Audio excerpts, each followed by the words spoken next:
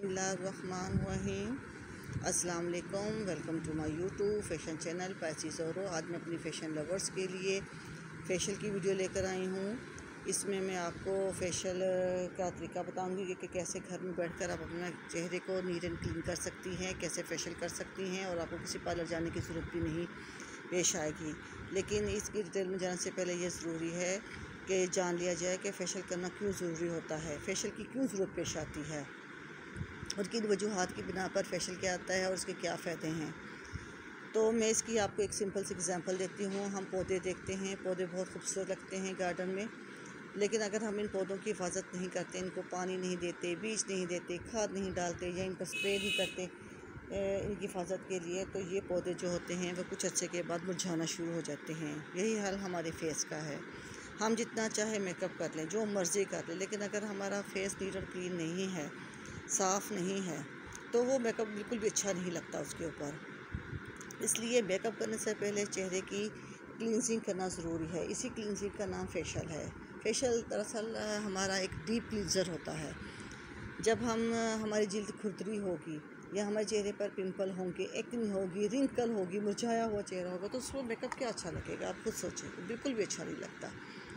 और फैसल की क्यों ज़रूरत पेश आती है? इन्हीं वजूहत की बिना पर फैसल की ज़रूरत पेश आती है। अगर अगर आप हफ़्ते में एक दफ़ा भी अपने चेहरे को डीप क्लिनजिंग कर लेते हैं, यानी फेशियल कर लेते हैं तो इसके बाद आप इसका रिज़ल्ट खुद ही देखेंगे अपने फेस पर कि आपका फेस फेस कितना ज़्यादा नीट क्लीन हो गया है पिंपल ऐसे, ऐसा ऐसा ख़त्म होना शुरू हो गए हैं ब्लैक सर्कल ख़त्म होना शुरू हो गए हैं रिंकल्स ख़त्म होना शुरू हो गए हैं। अगर आपकी जल्द बहुत ज़्यादा ड्राई है तो वो भी सॉफ्ट होना, स्मूथ होना शुरू हो जाएगी। तो इन सब चीज़ों के लिए फेशियल करना ज़रूरी है। जितना ज़्यादा आप अच्छा घर में फेशियल कर सकते हैं, आप पार्लर में जाकर उतना अच्छा फेशियल नहीं कर सकते। इसलिए मैंने सोचा कि ये वीडियो बनाई जाए फेशियल पर, क्योंकि कपड़ों पर मेकिंग मेकअप पर तो बहुत सी वीडियो आपने देखी होंगी, लेकिन फेशियल की जो मुकम्मल डिटेल आपने कहीं भी नहीं देखी होगी। इसलिए मैंने सोचा कि आज आपको फेशियल की मुकम्मल डिटेल दी जाए।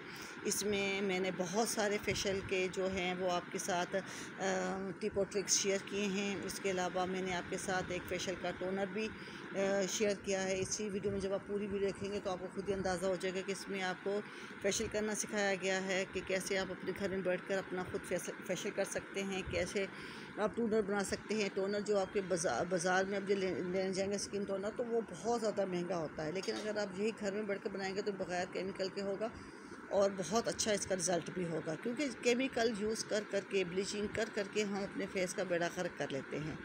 बस इसी से छुटकारा हासिल करने के लिए मैंने आज ये वीडियो बनाई है ताकि आपको घर की चीज़ों से फेशियल करना सिखाया जाए। आप आसानी से घर में जो चीज़ें मौजूद हैं, आप उन्हीं को उठाएँ और अपने चेहरे के ऊपर अप्लाई करें। आप इनका रिज़ल्ट खुद देख लेंगे। ये क्योंकि इन घर की चीज़ों में चूँकि कोई भी केमिकल यूज़ नहीं होता, इसलिए ये आपके लिए कोई भी हार्मफुल नहीं है। बल्कि आप आसानी के साथ आप हर तरह की स्किन पर आप जो है वो अपना ये फेशियल जो है अप्लाई कर सकती हैं।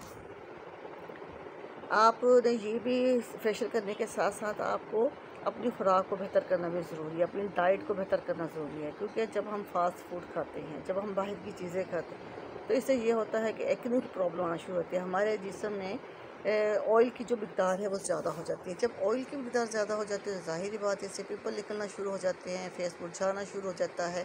अपनी डाइट में आप फल और सब्जियों को फ्रूट और वेजिटेबल को ज़्यादा यूज़ किया करें?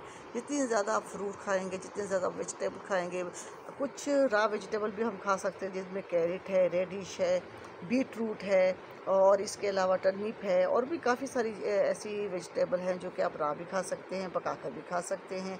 ये जो है हमारे स्किन के लिए बहुत ज़्यादा अच्छी होती हैं। हमारे स्किन में ग्लो पैदा होता है इन फ्रूट और सब्जियों को खाने से और इसके अलावा मैंने कुछ आप लोगों के साथ और चीज़ें भी शेयर की हैं।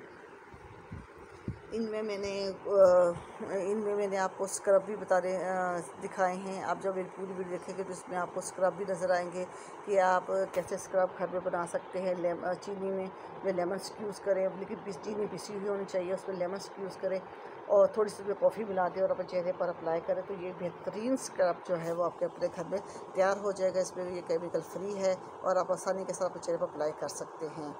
मेरी ये कोशिश होती है कि मैं आप लोगों के लिए आसान से आसान वीडियो लेकर आऊँ ताकि आपके लिए किसी किस्म की कोई मुश्किल पेश ना हो, आपको पार्लर में जाने की ज़रूरत पेश ना आए, आप घर में बैठ कर अपनी आसानी के साथ मेकअप खुद कर सके, अपना फेशियल खुद कर सके, अपने कपड़ों को खुद चॉइस कर सके, अपना कलर जो है वो कपड़ों का खुद चूज़ कर सके। इसी तरह से मेरी वीडियो देखते रहें लाइक करते रहें और शेयर करें। Thank you